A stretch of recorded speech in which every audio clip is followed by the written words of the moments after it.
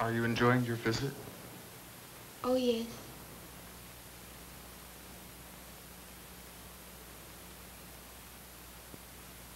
How are your studies coming along, Draycott? Very well, thank you. You're studying to be a doctor? A minister. Oh.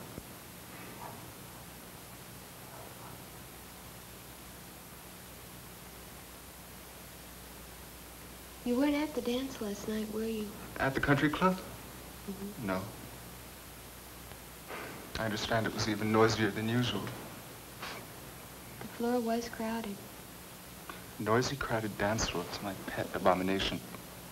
In my opinion, some of our generation will end up dancing themselves to death. Oh, no. Oh, yes. Present company accepted, of course. No one could ever accuse you of such a thing. I guess not.